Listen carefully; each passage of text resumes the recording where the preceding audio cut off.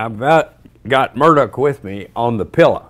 You remember he's my dog. He has a day off. so anyway, that's all of Murdoch. But back to the newspaper route, which was a big part of my life in Holdenville, Oklahoma. And I got to be the, I started there, smallest route in town, 28 papers, and I built up to 154 papers. I got, the reason I did it was because I was a good collector. I had to collect from all, all of my customers. And, uh, and I did that, but I was the largest, I was the largest carrier. So, man, everybody else had to wait on their papers to get to my papers. I, they had to get me out of the way first before they got their papers. But I also got the outgoing mail.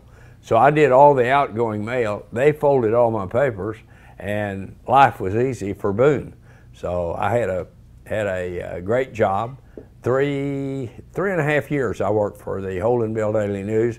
Tom Phelps was the uh, owner of the paper, and his daughter was my girlfriend. Made things easy for me.